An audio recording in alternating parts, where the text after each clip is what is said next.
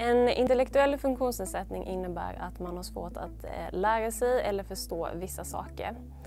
Eh, funktionsnedsättningen kan både vara medfödd eller så ska den ha uppstått innan 18 års eh, ålder och den uppstår på grund av en skada eller sjukdom som påverkar hjärnans kognitiva utveckling. Ja, jag heter Kim Nilsson, spelar handboll i IFK Tumba.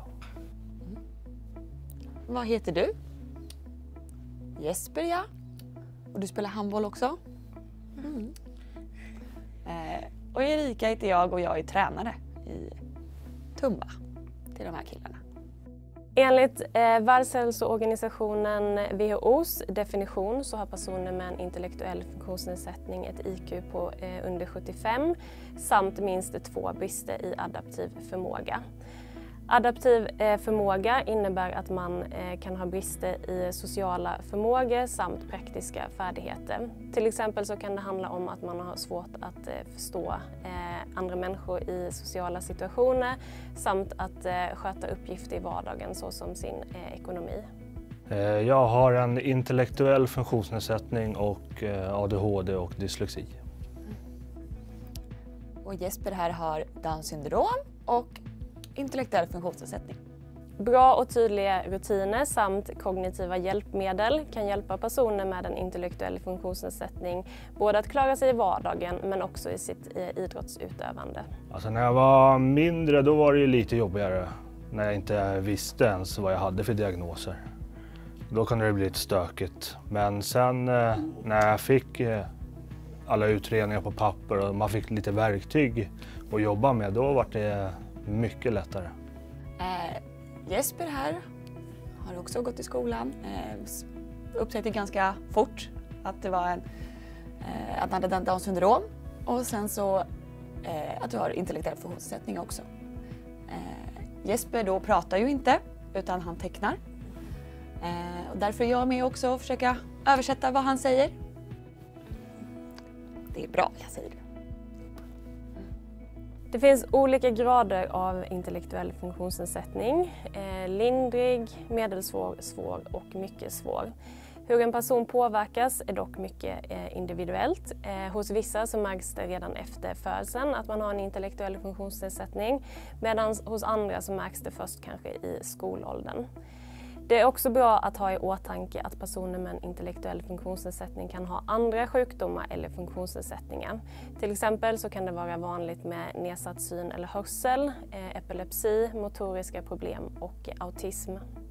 Själva idrottandet påverkas eftersom det kan ta längre tid att lära sig nya saker. Det kan också vara svårt att få ihop taktik med teknik eh, och därför är det viktigt att eh, idrottaren idrotten får ett tydligt stöd och anpassningar utefter eh, individens behov.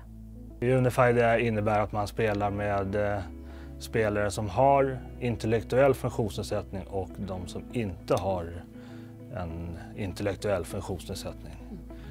Så de eh, tar ju fram de som inte har en intellektuell funktionsnedsättning, de lyfter fram spelarna som mig alltså på en lite högre nivå som jag kan.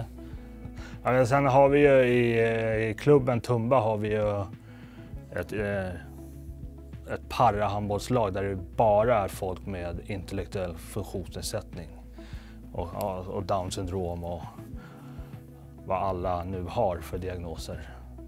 Och då spelar vi ju en serie där alla spelarna i alla lagen har en intellektuell funktionsnedsättning.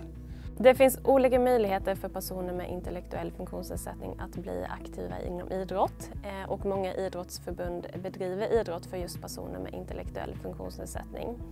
Parasport Sverige förvaltar varumärket Special Olympics Sverige som erbjuder rekryteringsverktyg, nationella och internationella tävlingar för personer med intellektuell funktionsnedsättning.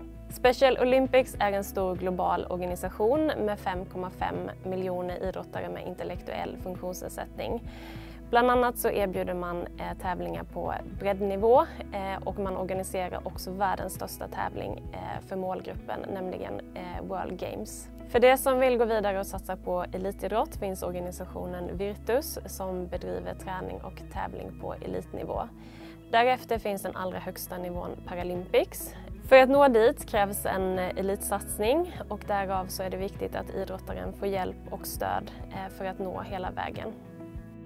Handbollen för mig betyder gemenskap och glädje. Det betyder verkligen det.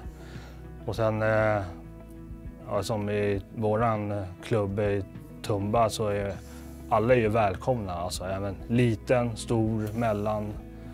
Alla blir ju välkomnade. Även eh, ja, vi då. Mm. Som kanske ja, sticker ut lite. Och då tycker du om att spela handboll? Mm. Ja. Blir du glad när du spelar handboll? Mm.